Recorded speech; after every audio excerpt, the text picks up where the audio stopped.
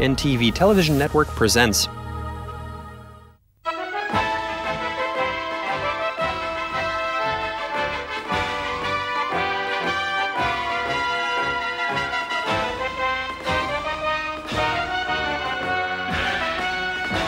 The Other Day, Current Era 1977. Translation and voiceover by BMI Russian. Good evening. Welcome to episode 17 of our series The Other Day 1961 to 1991, Current Era. Events, people, and occurrences which defined a lifestyle. Things that we can't imagine ourselves without, let alone comprehend. Another year, another episode. Today we're covering 1977. No neutron bombs, the technical college decree, Brezhnev becomes president, the Niva SUV, a new constitution, Abba, work at vegetable depots, new lyrics for the national anthem, Atommash, sadistic poetry. Commenting we have actress Tatiana Drubich, economic expert Yegor Gaidar, writer Anatoly Strelyany, Central Committee member, Foreign Affairs Minister Raoul Leroy, and other officials.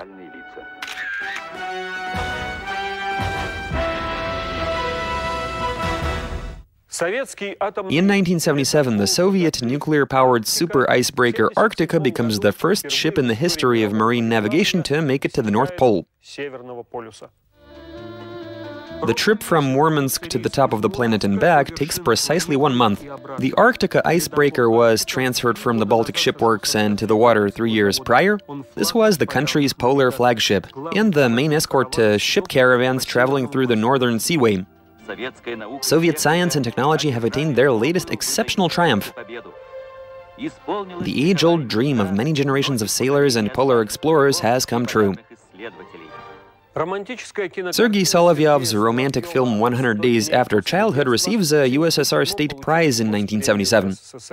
Soviet films of the 70s era school wave include Dinara Asanova's Woodpeckers Don't Get Headaches, The Key That Should Not Be Handed On, and one of 1977's biggest box office hits, a film called Practical Joke, directed by Vladimir Menshov.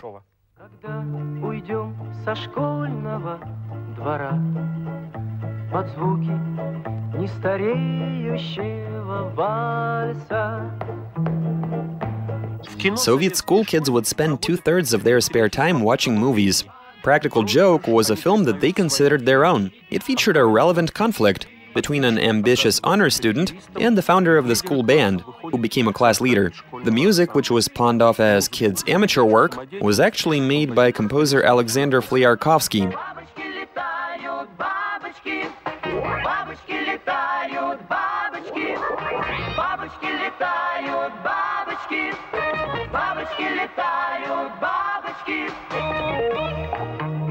Dmitry Harakyan, who played the hero of the time, was universally adored by high school girls all around the country.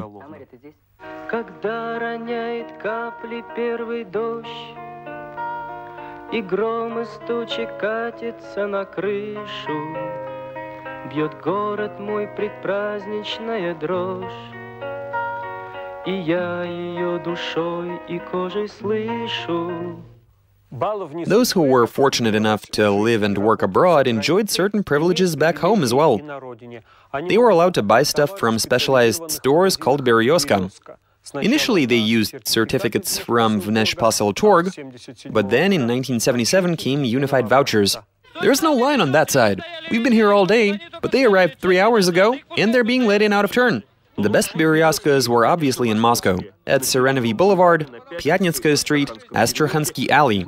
The store's employees could have very well looked into the origins of those vouchers, but in fact most of the people in line were fearless outlaws.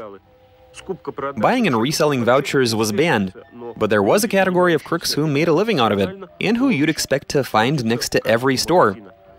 The average rate for exchange was two standard rubles for one voucher ruble.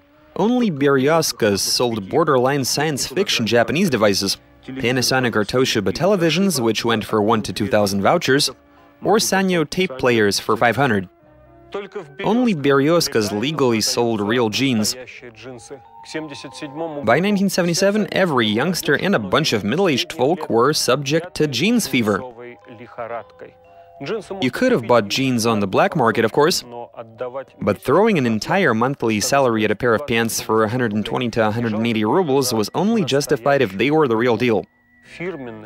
After a certain point, people began to value authenticity when it came to other consumer goods as well. As for which brand labels were the most appreciated, that honor went to Levi's, which we'd call Levis, and Wrangler, which we'd call Wrangler. After that, you had Montana, Lee, and Super Rifle.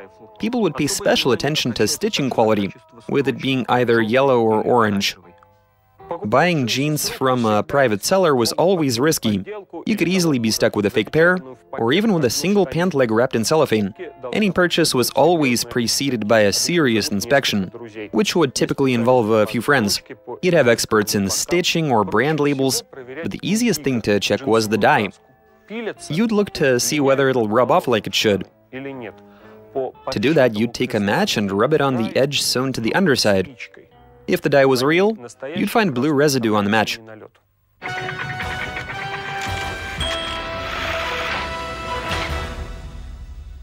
In 1977, both the old and the young learned the term dissident.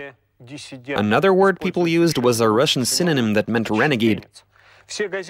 Every newspaper would write about actual human rights violations in the West and about renegade dissidents who received their orders from the West and who would rant about imaginary human rights violations in the USSR. Those dissidents, of course, would prefer to call themselves human rights activists. They insisted that the Soviet Union honor the Helsinki Accords, namely their humanitarian sections. Groups that would assist compliance with the Helsinki Accords begin to function in a few of the Soviet republics, the most famous being the Moscow group spearheaded by physicist Yuri Orlov. They establish communication with international agencies, with the human rights situation in the USSR becoming an active subject for discussion in the West. Soviet media accuses these dissidents of dealings with foreign intelligence. Foreign tourists started to get exposed, were delivering propaganda material to the USSR. These deviants became the country's primary internal issue. The KGB arrested the heads of Moscow's and Ukraine's Helsinki groups, Orlov and Rudenko, respectively. Orlov was sentenced to seven years in a maximum security prison and five years of exile. The West encourages our local dissidents, with US President Carter sending a message to Andrei Sakharov personally, and even inviting Vladimir Bukovsky to the White House, the guy who was exchanged for Corvalan. On January 8, 1977, at 5.30 in the evening, a massive explosion occurs in a Moscow subway train traveling from Izmailovska to Pervomayskaya station. Several people were killed or injured. A man named Stepan Zatikyan was charged with terrorism and arrested, who was previously convicted for founding the Armenian National United Party. Authorities also arrested Akop Stepanian and Zaven Bagdasarian, who weren't part of the human rights movement. An official message from the Supreme Court hearing read, the defendants are undoubtedly proven guilty, thanks to witness testimony, forensic reports, and other material. Zatikyan and his accomplices were sentenced to capital punishment. The sentence has already been fulfilled.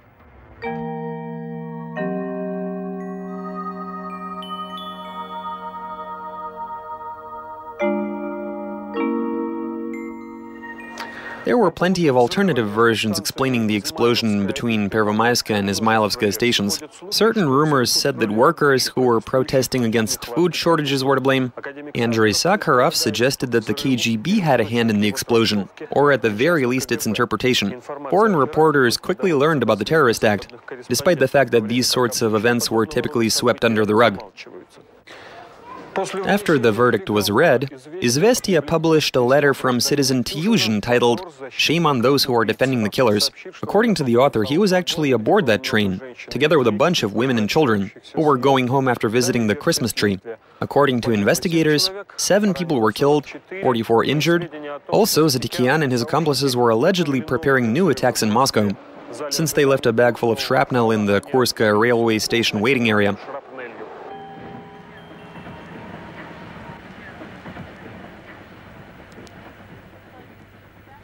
In 1977, a state decree was issued on technical training schools. The idea was to turn them into universities that taught blue collar trades and eliminate their reputation of inferior educational institutions which they inherited from vocational and factory apprenticeship schools. I studied for a year with one really great guy. It was thought that only school outcasts would attend technical training institutions, since you needn't have a brain nor achieve a minimum score for admission. Everybody was accepted, but that still wasn't enough to fill every seat. Technical training school graduates enjoy a high level of prestige. A propaganda campaign was launched to break the stereotype. An order went out to develop the resource base. Schools attached to large-scale enterprises received more funding than many universities. Financial aid for students was increased. Schools located in industrial hubs would whittle five 8th grade classes down to two ninth grades, three tops. Everybody else was sent to technical training schools almost by force, but none of that helped. These schools remained to be subpar education, while being a graduate was something that others looked down upon. In 1977, the Tu-144 supersonic passenger jet commences regular service. But this was the final chapter in the life of the Soviet Concorde. They had already finished designing the Tu-144 a good 10 years prior, when it became the world's first supersonic passenger plane. This supremely elegant machine had a cruising speed of 1500 miles an hour. The thought was that the Tu-144, just like its French counterpart the Concorde, was a response to the impending monopoly of Boeing. We were even presumably ahead of the Americans. But the mysterious Tu-144 crash in Le Bourget during a demo flight in 1973 ruled out any possibility for our plane to have a foreign career.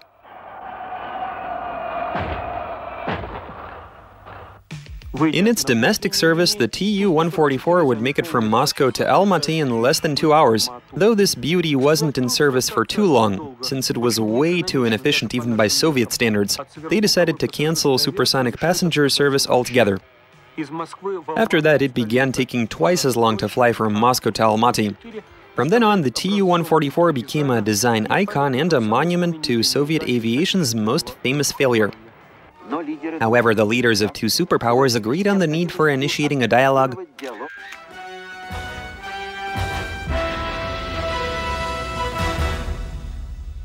Vladimir Vysotsky was no longer just one of the most popular personalities in the country. He was pretty much a mythical figure at that point. A semi-forbidden poet and singer accompanied by a foreign orchestra. Three records with Vysotsky's songs were released in France, which shared the name Tightrope. For the first time, the black market for genuine records was selling the works of a Russian musician.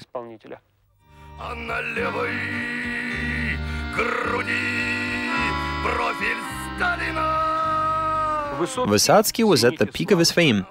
You couldn't get tickets to see one of his plays at the Taganka Theater. The entire country knew his songs by heart. You would hear recordings of his gruff voice coming from every open window. Melodia quietly releases minions. Mutes would sell photos of Vysotsky in trains. The French records seemed to be a sign of the contemporary classic gaining recognition all around the world. But as a matter of fact, they were primarily released for the Soviet market. Diplomats, foreign merchants, and sailors would buy copies and bring Vysotsky back home, from Moscow to the suburbs through Paris. Autumn is when city-based vegetable depots stack up their surplus. Spring is when they go into their old reserves. Each season, help would be sent from affiliated enterprises and organizations. The key here is to establish a continuous technological chain for shipping kale from fields to vegetable depots, or even straight to stores. Men would work on loading, while women would tend to sorting potatoes and onions, peeling kale, and packing beets and carrots. The official proportion of vegetables that perished in storage amounted to 60%, so over half of those vegetables simply rotted away. People didn't receive additional pay for spending a day at vegetable depots. However, it was rare that a person wouldn't bring some prize vegetables or greens home with them, sometimes even non-exotic fruit if they got lucky. Typically apples, in rare instances even pears. So we're using an iodine starch solution for treating the fruit, which is a first. It's super cheap, but the result speaks for itself. Seven years after the Ra-2 Papyrus boat made it across the Atlantic, Thor Heyerdahl embarks on another journey across the seas. The rebellious Norwegian was joined by another 11 people from nine countries, including four who had been part of his cruise before. Dr. Yuri from Russia was also welcomed aboard, the Soviet Union's most prominent adventurer, Yuri Senkevich. A reed boat called Tigris was built by savages from Lake Titicaca. The Tigris was twice the size of the Ra and much more durable. Launched from the merge point of the Tigris and Euphrates rivers, the Tigris covers a distance of over 4,300 miles. Heyerdahl proved his assumption that 5,000 years ago, long before they were making ships from wood, the ancient Sumerians very well might have been able to cross oceans. All of Tigris's radio communications were processed by an enthusiast from Yessentuki named Agabegov. He was the first to establish contact with Heyerdahl's crew and helped them stay in touch with the rest of the world. This experiment had a rather unhappy conclusion. When nearing the shores of Africa, the Tigris ended up in territory where a NATO training exercise was underway. No country was willing to not only guarantee their safety in their territorial waters, but even so much as permit entry. With no desire to continue sailing while being targeted by naval battleships, Heyerdahl in his anger decides to set fire to his boat.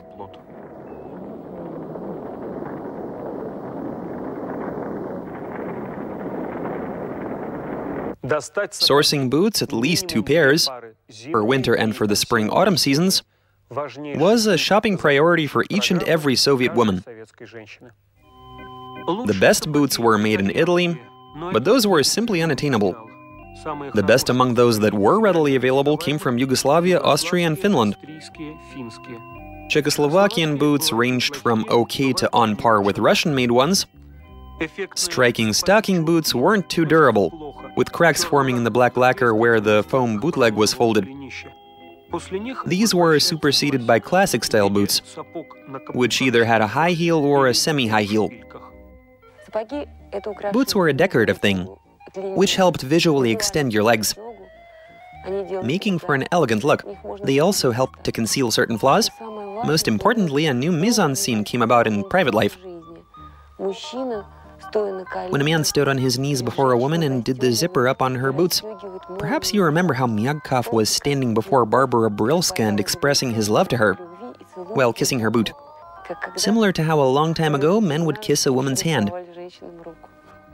The word discotheque used to mean a collection of records, but then it was ascribed to the events which put the latter to use. There were attempts made at arranging educational discotheques, but for the most part they were about dancing. This new youth pastime was first adopted in the Baltic states, and near the end of 1976, the first discotheque contest festival is held. The trend is soon picked up by the rest of the Soviet Union techie students could put together all the necessary equipment by themselves. This included a 100-watt amplifier, two turntables, and the main item, which were the disco lights with a stroboscope effect. Czechoslovakia made a state-of-the-art disco set called Tesla. Records were supplied by enthusiastic collectors. The record covers displayed valuable information about the artists, which would be conveyed to the public between songs. Discotheques were criticized for their abundant use of foreign music, and for the fact that they'd use the horse track term disc jockey to denote the presenter. Today, the last fruit fly perished.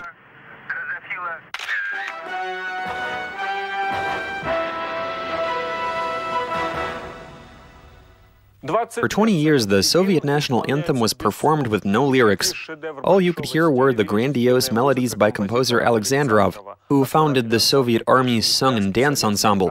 The initial lyrics written by Mikhalkov and El Registan included a line that went, We were brought up by Stalin in the spirit of loyalty to the people. But here we see the Central Committee and the Supreme Soviet Presidium approve a new rendition of the old text, which no longer featured Stalin, just Lenin, while omitting an inappropriate verse for a time of peace, which went, We forged our army in battle and we will do away with vile invaders. Everything else stayed the same. The Presidium of the USSR Supreme Soviet has approved the lyrics and musical edition of the national anthem of the Union of Soviet Socialist Republics.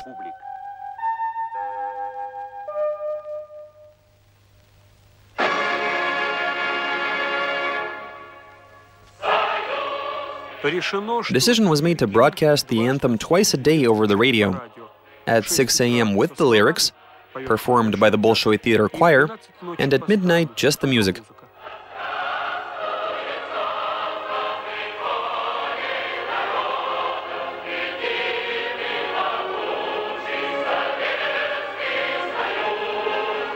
Director Nikita Mikhalkov makes a movie loosely based on Chekhov's work with a cumbersome name An Unfinished Piece for Mechanical Piano. The film made Mikhalkov a contemporary classic while establishing the Chekhov style in Soviet cinema. In this unfinished piece, characters conceived by Chekhov transition from the scene to Mother Nature, with no loss of theatricality. They just carried on playing.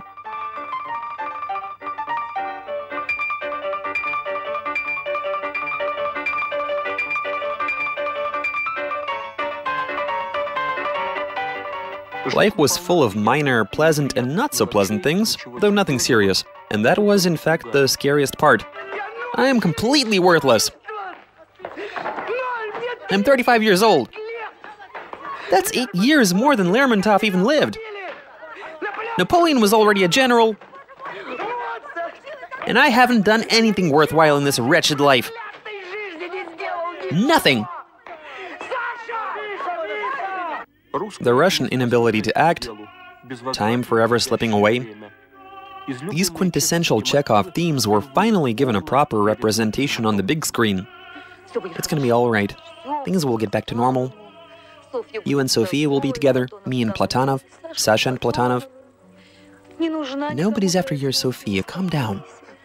Mikhalkov was fortunate enough to receive official recognition, together with public and foreign acclaim. At the San Sebastian Festival, the unfinished piece received first prize.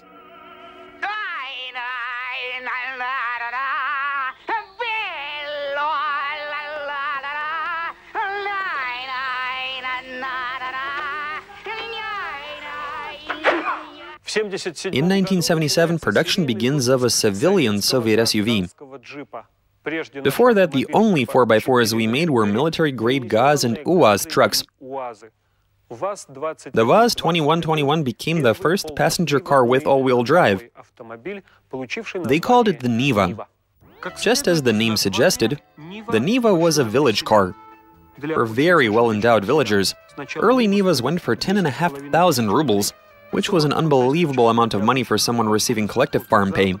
Meanwhile, there were even less side job opportunities in the village than in cities which is to say the number of people earning something on the side was limited. In an unbelievable turn of events in a country where cars were in short supply, Niva prices had to be lowered to 9,000 rubles. This three-door SUV was typically purchased by rich dacha owners and by regional middle management types. Meat prices, which were last increased in 1962, officially hadn't been ramped up since then. Though every now and then new versions of certain produce did appear which were more expensive than what came before, but otherwise prices appeared to be stable. However, in 77, a subtle memo issued by the USSR State Price Committee sparked a series of official increases almost on a yearly basis. From then on out, there was a simultaneous decrease in the price of unmarketable goods. In 1977, there was a 10 to 20% drop in the price of synthetic clothing, accordions, unpopular tape players, television sets, electric razors, and vacuum cleaners. Goods that would begin to grow more expensive included rugs and crystal glass, silk, books, air and river going transport, taxi fares, tailor services. Nothing was said about how much more expensive everything became, with prices growing a full 50 to 100%. A taxi ride which used to cost 10 kopecks per kilometer became twice as expensive. Before, it was virtually impossible to hail a cab, but after the price jump, they were standing parked all over the place. In a year's time, drivers and passengers alike would get used to the new price, and people were back to hailing cabs.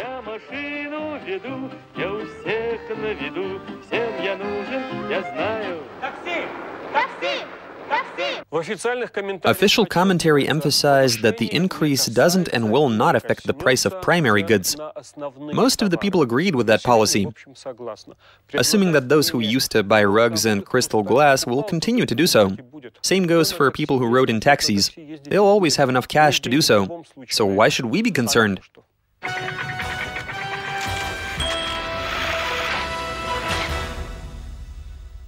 In May of 1977, the Soviet triumvirate, which stood for 17 years, consisting of Brezhnev, Podgorny, and Kosygin, goes through some serious changes. Chairman of the USSR Supreme Soviet Presidium Nikolai Podgorny was excluded from the Politburo. For almost a month, it was unclear as to who would become the next nominal Soviet president. But then those who suggested that Brezhnev himself wanted to assume the post turned out to be correct. The decision was formalized at the next Supreme Soviet Assembly. In a matter of seconds, Podgorny was sent into retirement, allegedly on his own request. The people joked about him stepping down due to negligence. Brezhnev was appointed based on a unanimous vote. This seemed to be a logical decision from the Western perspective, with the formal head of state finally receiving official recognition. But in the USSR, it was no secret that the general secretary was the one who pulled all the strings. I will do everything that is in my power for our beloved country to grow stronger and more prosperous for bettering the lives of Soviet people, promoting peace on earth, and positive cooperation between nations. In 1977, a new Soviet constitution was approved to supplant the old 1936 document put in place by Stalin. The old Constitution Day on December 5th was abolished, and so in 1977 there was one less holiday than usual.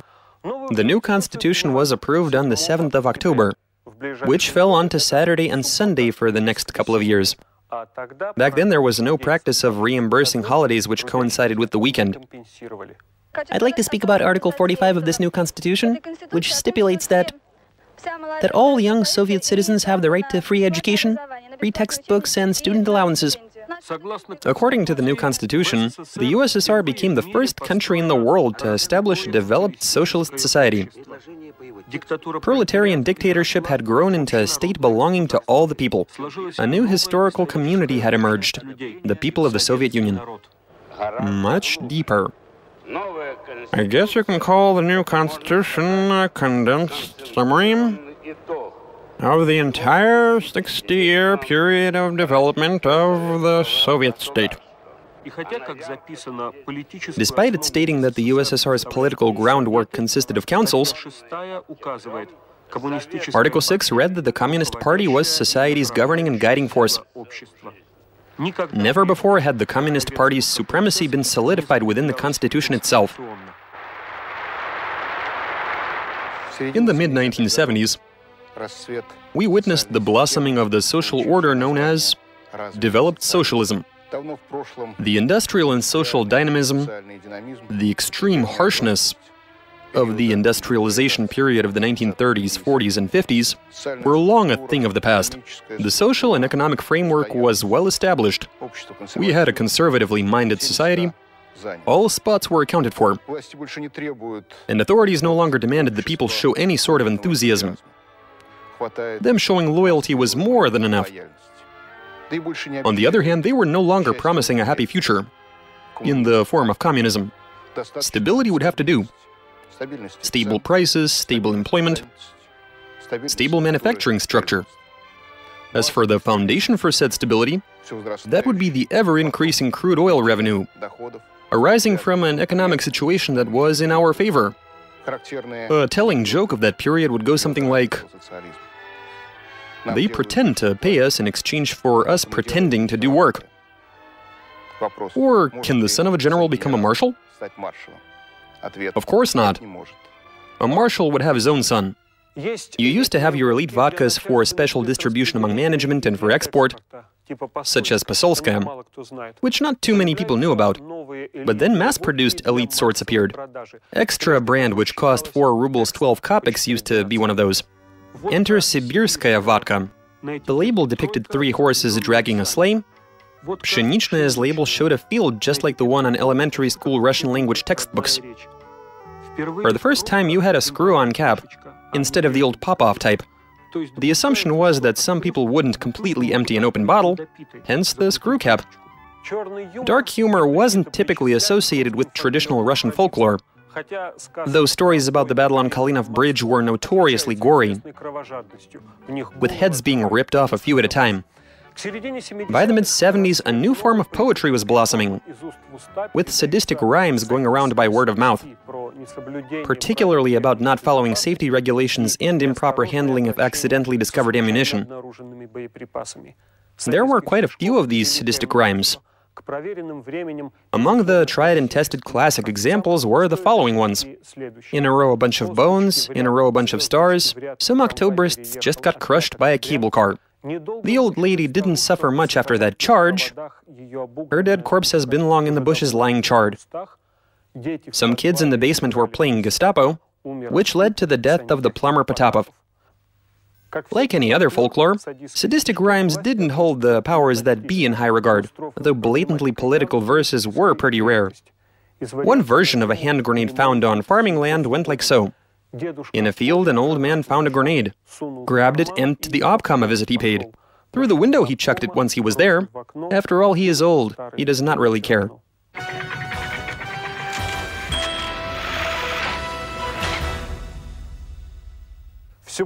More and more vacationers begin to think of the Black Sea as yesterday's news, preferring instead to go to the Baltic states. The local resorts seem to be more exquisite, and as for the unstable weather in those parts, well, those who satisfied their initial lust for sun and heat say things to the effect of, as if I've never swam or gotten a tan before. People were looking to be immersed not into a different climate, but rather into a different life. The Palanga and Klaipeda resorts in Lithuania, Parnu, Mustamai and Haapsalu in Estonia, a string of Latvian resorts collectively named Jūrmala, here people lived healthy townsman lives, by Soviet standards anyway. The coastal towns Tallinn and Riga, continental cities Vilnius and Kaunas, all had a fantastic amount of museums and bars, amazing song parties, with light sectors of industry such as food and souvenirs being the main priority.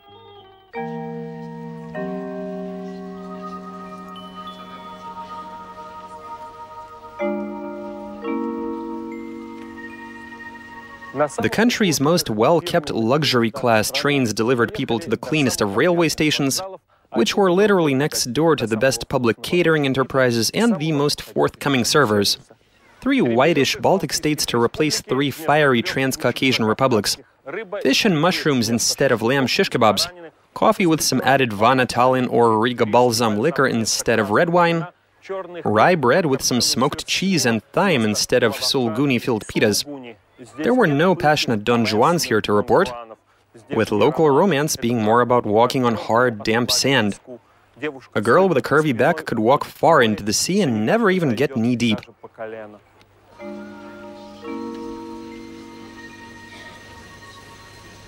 Here they allowed the first ever Soviet bubblegum, called Kalev, the first openly accessible discotheques, the first Soviet marital ads in the Rigas Balss newspaper, this was something of a Soviet Scandinavia, our very own Little West.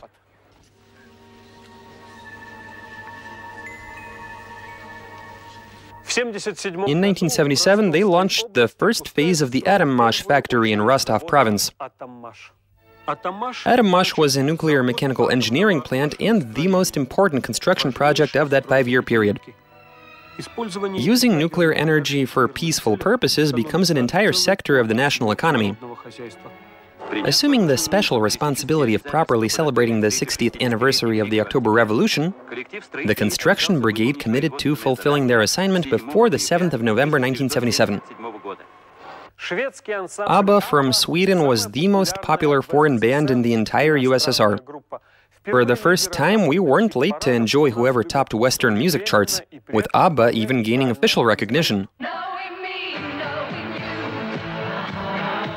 The first ABBA record was released by Our Melodia just one year after the quartet's victory at the Eurovision Song Festival. ABBA's producer was able to bypass Soviet restrictions for payment in hard currency by making barter deals. The USSR was paying for recordings with crude oil and other raw material, even with potatoes on one occasion.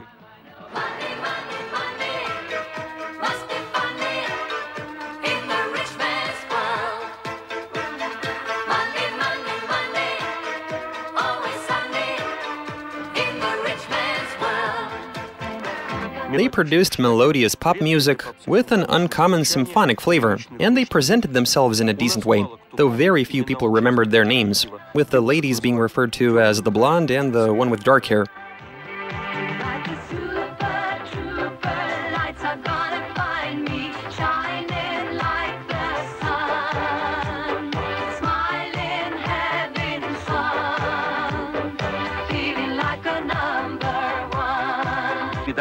Leonid Ilyich Brezhnev bestows a Gold Star Medal upon Todor Zhivkov.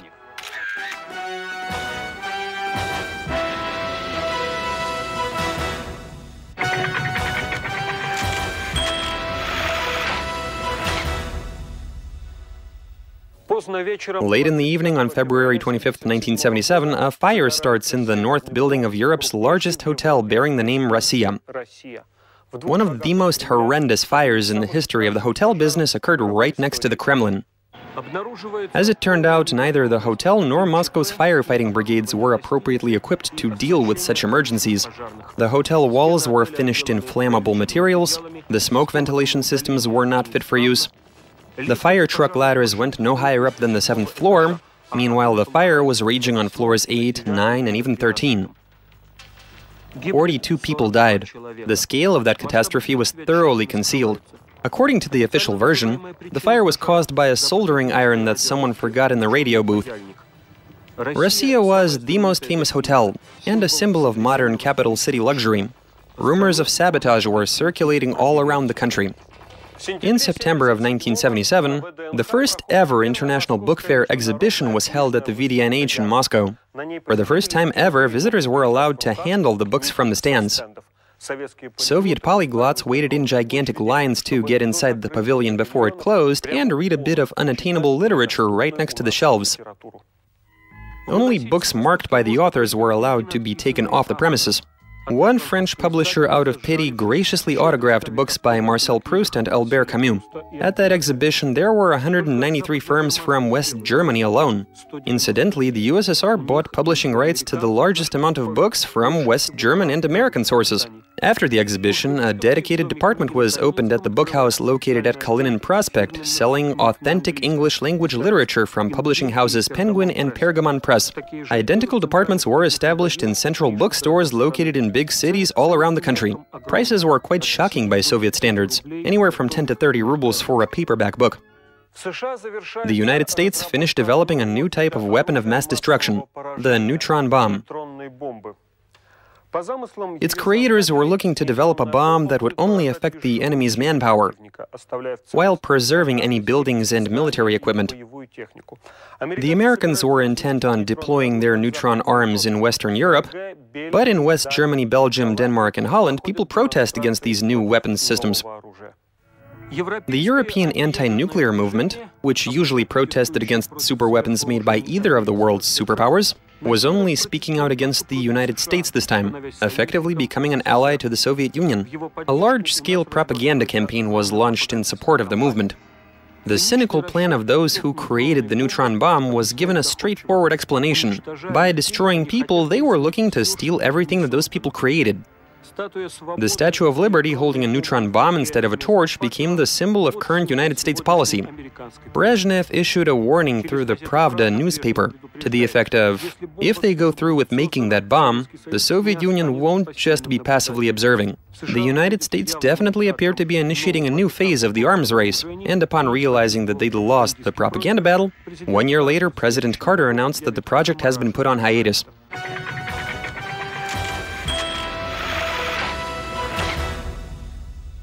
Villages were receiving plenty of money for construction projects, but the material base was lacking and so the funds weren't all properly invested. As a result, moonlighting flourishes, when construction brigades would unofficially find temporary work. More often these would be folks from out of town. Shabash meant job done. Ideally, shabashniks would try to turn over a complete object. Village construction complexes and mobile mechanized convoys emerged, but even those would sometimes attract moonlighters. Major construction in the village was both a grueling undertaking and a gold mine.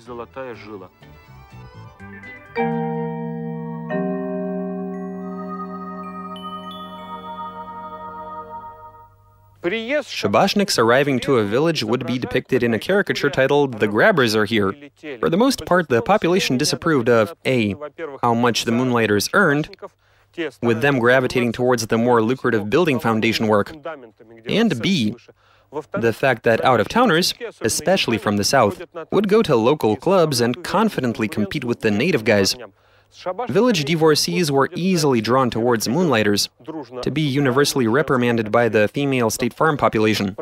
Shabashniks compromising the moral climate in villages was also of considerable concern to authors advocating for return to form, with them worried about Shabashniks lacking rootedness. As in, those who plan to and actually live on the land should be the ones to build, and not these vagabonds. In 1977, a series of tales brought fame to prose writer Valentin Rasputin from Irkutsk. He was especially concerned about the decay brought about by strangers. In his tale Fire, Rasputin introduced the Arkharovets, who regarded his homeland Siberia solely as a source of income.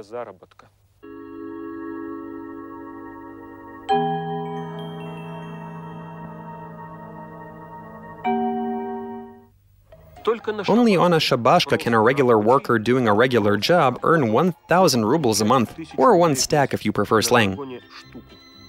Authorities did pretty much nothing to eliminate shabashniks, even if official propaganda had nothing but bad things to say about them, to the effect of, these moonlighters roam the country looking for cash grab opportunities. Shabashniks, who'd also be called rogue brigades, were performing what people in olden times would call seasonal work.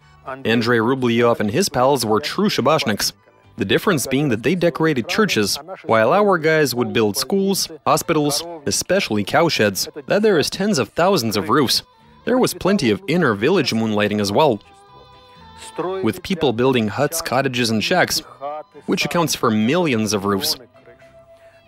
Therefore, a huge proportion of the national wealth was created according to the teachings not of Karl Marx, but rather Adam Smith, based not on the plan but on market demand.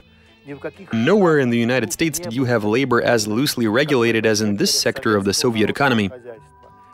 No tax statements, no written rules or regulations, only traditions and verbal agreements. As for who earned how much, who paid how much to whom, how much was the brick, these things were a strictly kept trade secret. The protagonist in any given Soviet novel never tarred his reputation by moonlighting. But a lack of workers in one place and abundance in another presented a huge issue that could only be sorted at random by means of independent economic activity. Chechens and Ingushes typically traveled north, Armenians, Georgians, and Hutsuls to the east, with Hutsuls having quite a presence in Moscow province and eastern Ukraine. It was thought that they were the best builders, the food and gourmet industry was all about socialist division of labor. The USSR's achievements in this field were modest, and a lack of goods would partially be compensated by fraternal countries, primarily by the People's Republics of Hungary and Bulgaria. Though they weren't up to feeding the vast country in its entirety, they were able to significantly diversify the diets of urban residents. Each and every family was aware of green peas and other goods made by Globus from Hungary. The Hungarofruct conglomerate became the first company to sell Jonathan red apples in the USSR year-round. Hungary also made the best packaged chicken you could get in the USSR. Intellectuals admired Tokaji Furmint and Somlo Furmint brand wines. The most popular canned goods from Bulgaria included pickles, tomatoes, and pickles with tomatoes. Tin cans would contain chicken meat with vegetables and rice, beans with stuffed pepper. You also had Bulgarian pulpy juice, which was nectar in European-style bottles. Bulgarian dry wine was almost even more popular in Russian capital cities than Georgian and Moldavian. Also, Bulgaria was almost a monopolist in the field of importing cigarettes, BT, Stewardess, Rodopi, TU, Opal, Inter, and toothpaste, Mary and Pomorin. A glider with no cabin, just a set of wings, with a brave air surfer below. First a run up, then a jump from either a steep incline or the edge of a cliff, and Icarus flies into the distance.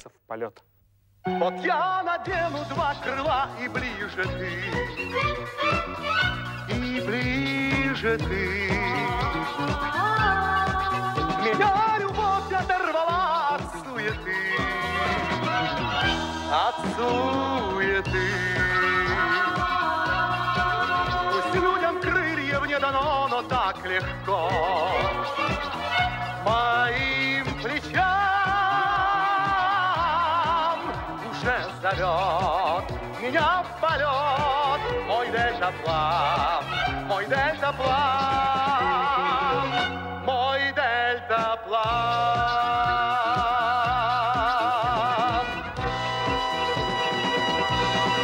And that does it for the 1977 episode of our show, The Other Day, 1961 to 1991, current era.